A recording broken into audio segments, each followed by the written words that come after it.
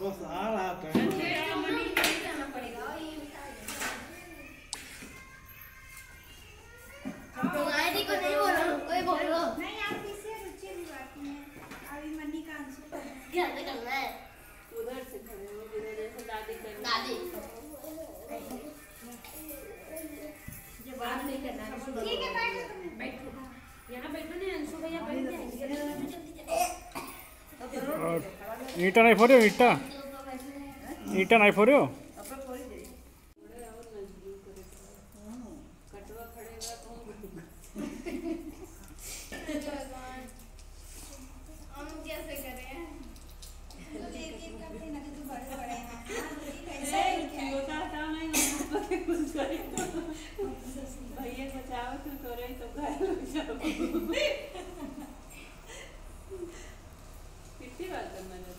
रहता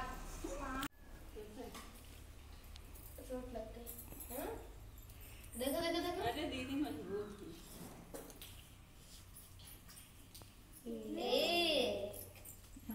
दुई तीन। चार। पाँच। छ। सात। नौ बजे क्या पुकारा सब भजन के बाद पूरे पर इधर जाके फिर इधर जाएँगे तब एक होगा ना नहीं सिंगल चाची मान के। सारे गम्मा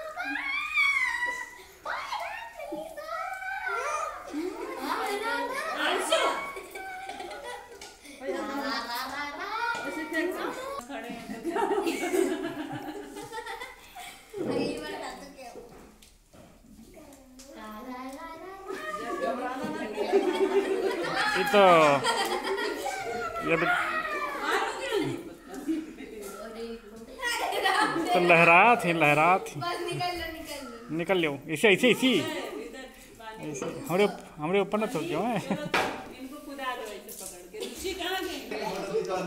लिए उसे दो। का सामने इधर उधर अरे बेयारा पिता के बुलावे अरे बेयारा पिता के बुलावे terus garun ae bawa. Hoi ka?